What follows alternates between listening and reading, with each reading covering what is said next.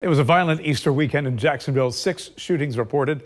Two of them were deadly. A 17 year old died last night after he was found at the Publix parking lot near 103rd and Ricker Road. News4JAX reporter Brianna Andrews joins us live. And Brianna, police say the boy was shot at a nearby park.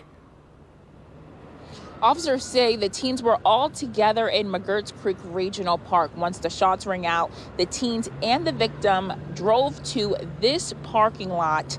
Officers found the teen with a gunshot wound and say the victim died on scene.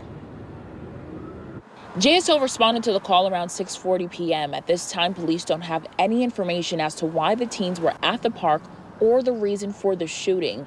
There are no suspects. The shooting adds to the growing list of violence over the weekend. Earlier in the day, two men were shot and killed in the parking lot of a strip mall on Powers Ave. Police say there was a big gathering when an argument broke out and someone started shooting. No one has been arrested. Other violent attacks JSO is reporting from the weekend, a shooting on Roosevelt Boulevard around 12:30 Sunday morning. Police say there was a car club meetup in a Winn-Dixie parking lot. At some point, a 17-year-old was shot and taken to the hospital. 4 hours later, a shooting was called in from I-295 near Wilson Boulevard. A man called police saying he had been shot in the back. Police say he told them he was driving in that area and heard gunshots. Then he realized he was shot. Not even two hours later, officers were called to Hubbard near East 8th. A man was shot in the arm and taken to the hospital.